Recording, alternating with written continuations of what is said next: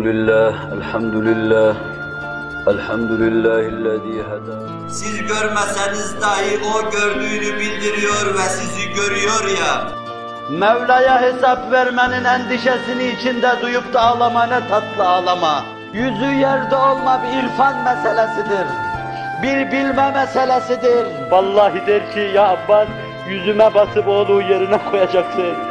Çünkü o Resul-i Ekrem'in eliyle konmuştur oraya. Ya Ömer şahit ol ki Rabbim bana o iki cenneti cennette iki defa verdi. Allah'ım beni insanlar nazarında büyük, senin nazarında küçük eyleme diyor.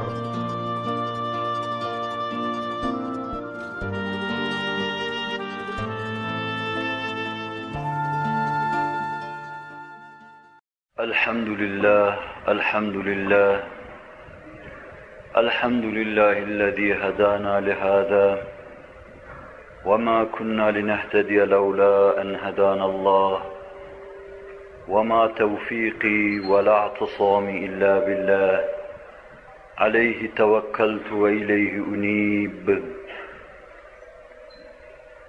أشهد أن لا إله إلا الله وحده لا شريك له ولا نظير له ولا مثال له الذي لا أحصي ثناء عليه كما أثنى على نفسه.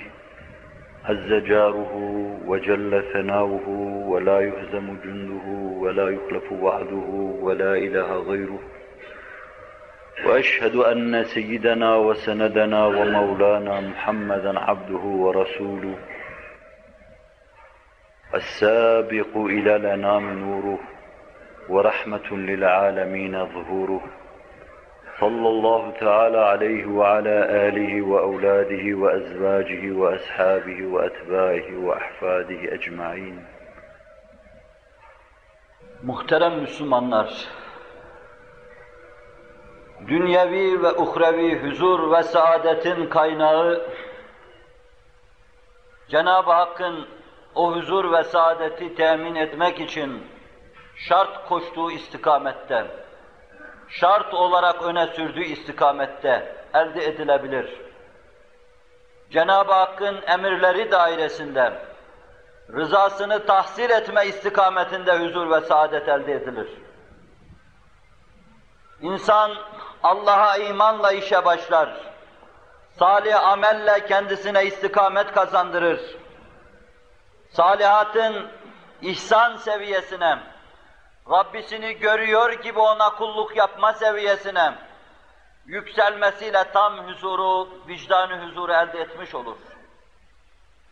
Bu yol ve bu istikametin dışında bütün huzur ve saadetlere suni huzur ve saadet nazarıyla bakıyoruz. Gelip geçici huzur, aldatıcı huzur ve saadet nazarıyla bakıyoruz. Zail olmayan huzur ve saadet, zail olmayan bir zat tarafından gelen esintiye bağlıdır. Zeval bulan varlıklardan size gelen ve gönderilen huzur ve saadet huzur değildir. Belki gelip gitmesiyle iyice huzurunuzu karıştıracak, hayatınıza zehir ilave edecek, dünyaya geldiğinize sizi bin pişman kılacaktır. Huzuru gönlümüzde yaratan, onu imana bağlayan, hakikata bağlayan, Hazreti Allah'a imanla elde edilir. O imanın muhtezası, salihatı yerine getirmekle kemali elde edilir. İman ve ameli ihsan, sırrı ihsan seviyesinde yaşamak suretiyle zevki ruhani elde edilir ki, dünyadayken insan cennete benzeyen bir hayat yaşamaya muvaffak olur. Huzur ve saadeti şu vadide bu vadide adım adım izleyen ve takip eden, günümüzün Müslümanlarına Allahu huzura giden yolu hidayet eylesin. Muhterem Müslümanlar, her meselenin kendine göre bir hakikati vardır. Mesele kendi hakikatini bulamazsa vahiy bir hüviyet alır, hayalden ibaret kalır. Bemal o meselenin altında o büyük hakikat olmalıdır. Huzur gibi büyük bir meselenin altında Allah'a iman gibi bir hakikat olmalıdır. Allah'a iman gibi mühim bir meselenin altında da sizin davranışlarınız, iç aleminiz ve iç aleminizden dışa sızan keyfiyet olmalıdır. Siz ve biz yeryüzünde huzuru Allah'a imanda arayan insanlar, iman hakikatinin hakikatine erdiler mi acaba? Davranışlarıyla onu gösterebiliyorlar mı acaba? İman hakikatinin yaşanmasının gerektirdiği şey acaba gösterebiliyorlar mı? Bu bize ait bir keyfiyettir. Ve ben huzurun ikinci derecede şartı adisi, şartı alisi olan bilhassa bu hususa temas edeceğim. Huzurun hakikati Allah'a imandır. İsterseniz siz onu kafi vafi sebep, kafi vafi ispat edici illet kabul edin, isterseniz etmeyin. Allah'a imanın hakikati ise sizin davranışlarınızda ispatlanan bir husus ve bir keyfiyettir. Yaşayışınızı fersudelikten kurtaramadıktan sonra, davranışlarınızda putperestliğe ait şeylere yer verdikten sonra, gönül istikametini bulamadıktan sonra, iman sağlam hakikatini bulamamış, üstüne oturamamış demektir. O oturamayınca da sizde kaynaşma durmayacak. Yani huzursuzluk müstemir devam edip gidecektir. Ona istikrar kazandırma, iman hakikatinin kaidesini bulmaya bağlıdır. Bizler hepimiz Allah'a binlerce hamd ve sena olsun, hak ile müminiz. Pek çoklarımız da belki öyle zannediyoruz kendimizi. Nefsim dahil pek çoklarımız kendimizi hak ile mümin zannediyoruz. Ve bu arada ümitsizlik, huzursuzluk furyalarına şahit oluyoruz. Çepeçevre hayatımızı saran ve huzurumuzu tehdit eden şeylerle karşı karşıya kalıyoruz. Niçin ve nedenini araştırmadan, huzurun kaidesine bakma ve sonra imanın oturduğu kaideye bakma veya onu gösteren sebep ve faktörlere bakma mecburiyetindeyiz. Resul-i Ekrem sallallahu aleyhi ve sellem biraz evvel misaliyle kendisini size arz etmeye çalıştım. Genç Muaz İbni Cebel'le karşılaştım. Ve ona Allah Resulü sallallahu aleyhi ve sellem şöyle sordu. Keyfe esbahte ya Muaz? Nasıl sabahladın? Bugün nasıl gece ettin veya sabaha dahil oldun? Esbahtu mu'minen hakka dedim. Allah'a hamdolsun, hakiki bir mümin olarak sabahladım.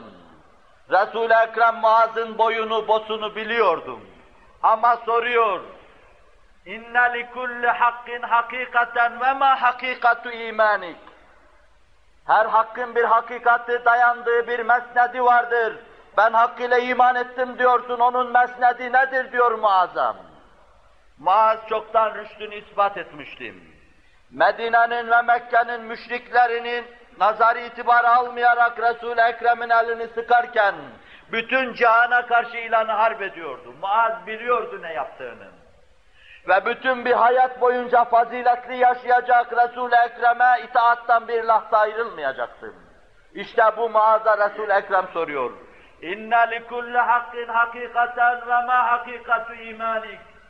Her meselenin bir mesnedi vardır, senin imanının mesnedi nedir, hakikati nedir? Cevap veriyor. Ma asbahtu sabahan qattu illa zanantu enni la umsi ebeden. Ne zaman sabahlasam akşama çıkma ümidinden yoksun sabahlarım. Bu benim son sabahımdır, bugün iyi bir kulluk yapayım derim. وَمَا أَمْسَيْتُ مَسَاءً إِلَّا ظَنَنْتُ أَنِّي لَا أُصْبِحُ أَبَدًا Ve ne zaman akşama girdimsem, kendi kendime dedim ki Muaz bu senin son akşamındır. Son akşamını güzel değerlendir.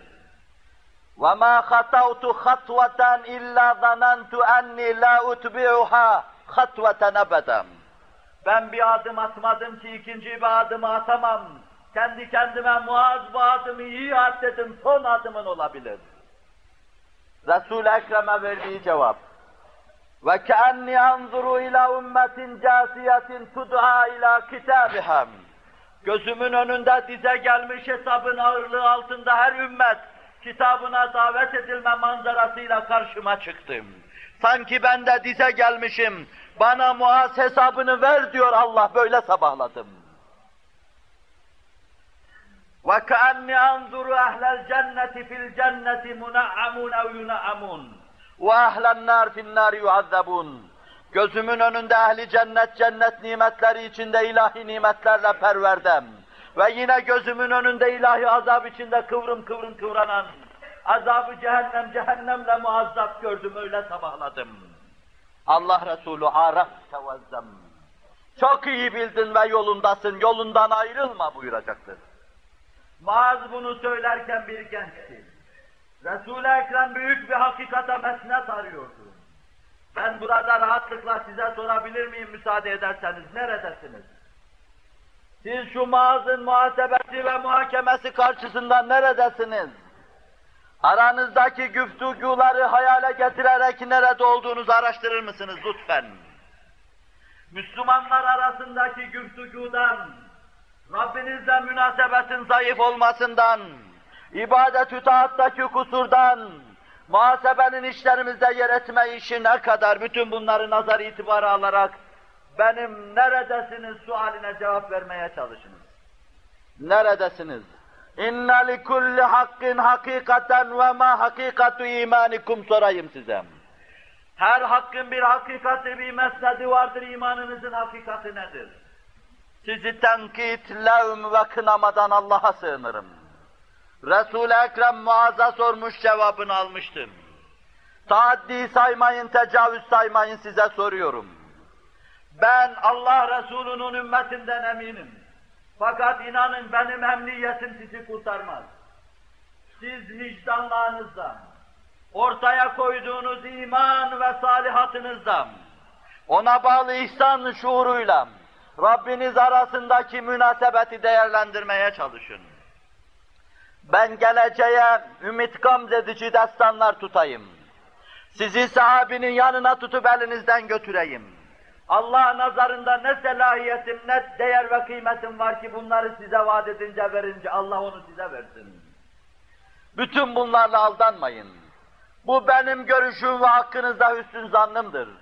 Fakat sizin hakkınızda hükmü siz vereceksiniz. Siz imanınızın hakikatini araştıracaksınız. Ağzınıza arpa kadar haram veya şüpheli bir şey girdiği zaman kendi kendinize düşüneceksiniz. Acaba hangi arızadan girdim? Ben ki müminim. Ben ki başım yerde ve secdedeyim. Ben ki günde kırk rekatımla ahdü peymanımı Allah'a yeniliyorum. Nasıl oluyor da bu haram ağzımdan içeriye giriyor? Bir şüpheli lokma karşısında Sıddık Ekber, parmağını gırtlağına kadar sokmuş onu kay edivermiştim. Kay edivermişti onun destanını size birkaç defa intikal ettirdim. Zamanında kahillik yapmış ve her gün Hazreti Ebu Bekir'in yiyeceği yemeği ve sofrayı huzuruna getiren eski bir arraf, eski bir kahin. O günde yine sofrayı Sıddık Ekber'in önüne getiriyor. Her gün Sıddık Ekber soruyor ağzından içeriye girecek şeyleri. Bizim insanımız olması itibariyle anlatıyorum. Biz bu yapıya sahibiz. Bunu iktisap edemeyenler de, henüz edemeyenler de özenecek, bunu kazanmaya çalışacaklardır. Her gün soruyor. Bunu nereden getirdin? Haram var mı bunun içinde? Şüpheli şey var mı? Sen bir üzüm getirdin. Kime ait suyla suladın o üzümü? Sen değirmenden bir un getirdin, bana ekmek yaptın. Değirmenciye tam hakkını verdin mi? Tam ücretini ödedin mi? Sen ektirdin, biçtirdin, ücreti, ücreti teri kurumadan ödedin mi? Bütün bunları sorduktan sonra helal diyor, lokmayı ağzına koyuyor. O günse belki bir iftardı. Bütün bu tahkikatı, tamikatı yapmaya sabrı kalmamıştım. Lokmayı ağzına götürdükten sonra ancak idrak etti, hatırladı. Lokmayı ağzından çıkardı, Arraf'a sordum. Sen bunu nereden getirdin? Ey Allah'ın peygamberinin halifesi! Ben cahiliye devrinde milletin başına gelecek gaybi şeylere haber verirdim. Ya eline bakar haber verirdim, ya simasına bakar haber verirdim, gayipten haber verirdim. O günden kalma bir alacağım vardı. Bugün onu verdiler, bu sofrayı getirdim. Elini gırtlağına soktu, midesine kadar ne kadar inmişsem, zerresine kadar her şeyini dışarı dökmeye zorladım. Değen oldu ki bu kadarcık lokma için, bu kadar tehallük fazla değil mi? Ben Resul-i Ekrem sallallahu aleyhi ve sellem'den işittim. Haramdan gelişmiş bir tek hücre vücutta bir tek parça, Bir lokma kadar bir parça onu cehennem temizleyecektir, başka temizlenme yolu yok. Bu bizim yapımızda mühim bir esas, mühim bir rükün teşkil etmektedir. Ve insanımız buna sımsıkı bağlıdır. Binaenaleyh biz imanımız açısından neredeyiz? İşte bu bir tek lokmanın dahi kavgasını verecek kadar bu mevzuda hassasiyet göstererek, tahallük göstererek istikametimizi ishar etme mecburiyetindeyiz. Ve ma hakikatu imanukum. İmanınızın dayandığı kaide nedir söyleyin bana. Bunları söyleyebilirseniz ben size fakat araftum ilzemu. Siz de çok iyi bildiniz. Tuttuğunuz yolda devam edebilirsiniz, gidebilirsiniz diyeyim. Hala hüsnü zannım bu merkezdedir. Cenab-ı Hak beni hüsnü zannımda, sizi de İslami yaşayışınızda yanıltmasın, sürçtürmesin, istikamette kaim ve daim eylesin.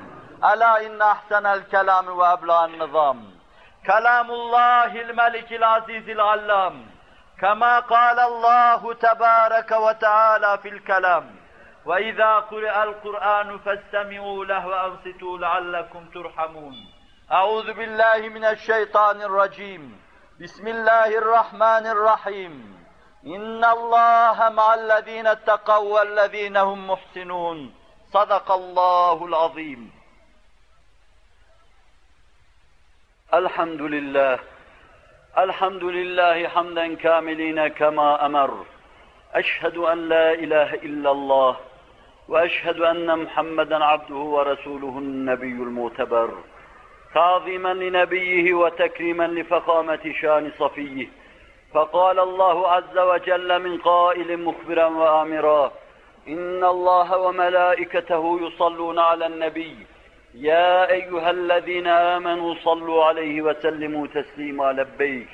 اللهم صل على سيدنا محمد وعلى آل سيدنا محمد. كما صليت على سيدنا إبراهيم وعلى آل سيدنا إبراهيم في العالمين. ربنا إنك حميد مجيد. وبارك على سيدنا محمد وعلى آل سيدنا محمد كما باركت على سيدنا إبراهيم وعلى آل سيدنا إبراهيم في العالمين. ربنا إنك حميد مجيد. وارض اللهم عن الصديق أبي بكر والفاروق وعمر وعثمان وعلي رضي الله عنهم وعن الستة الباقية العشرة المبشرة وعن الصحابة والتابعين الأخيار منهم والأبرار. وسلم تسليما كثيرا إلى يوم الحشر والقرار واحشرنا معهم بلطفك آمين اللهم صل وسلم إيماننا لا تسلط اللهم أعنا على İbadallah, Allah'ın kulları, ittakullaha ve ati'uh. Allah'a karşı gelmekten sakının. Allah'a karşı çok saygılı olun. Allah'ın himayesine girin ve Allah'a itaat edin. İnna Allah ya'muru bil adli vel ihsani ve ita'i zil kurba. Muhakkak Allah adaletle emrediyor. Kur'an'da buyurduğu gibi İslam'ı yaşamakla, İslam'ın emirlerini hayata hayat kılmakla emrediyor. En geniş manasıyla ihsanla, Rabbinizi görüyor gibi ona kulluk yapmakla, siz görmeseniz dahi o sizi görüyor ve her halinize nigehban bulunuyor ya. Ve yine en geniş manasıyla yakınlarınıza bir şey vermekle, şu mualla İslam dininin ufkunuzda şahbal açması istikametinde servetinizi sarf etmekle size emrediyor. وَيَنْهَا عَنِ الْفَحْشَاءِ وَالْمُنْكَرِ وَالْبَغِيِ يَعِذُكُمْ لَعَلَّكُمْ تَذَكَّرُونَ Ahlaksızlığın her çeşidinden, gizlisinden, açığından, büyüğünden, küçüğünden, dinin emirlerini tanımayıp baş kaldırmanın her çeşidinden, telakkilerin, asırların anlayışının değil, Resulü Zişan ve sahibi Kur'an'ın çirkin gördüğü şeylerden sizi nehyediyor. Böylece size nasihat ediyor. Ta düşünesiniz, kendinize gelesiniz. Emnu eman içinde doğru yolu bula sahili selamete çıkasınız. Akimis salah. İnne salate tenha anil fahşai vel münker. Ve le zikrullahi ekber. Vallahu ya'lemu ma tesna'un. Sadakallahul azim.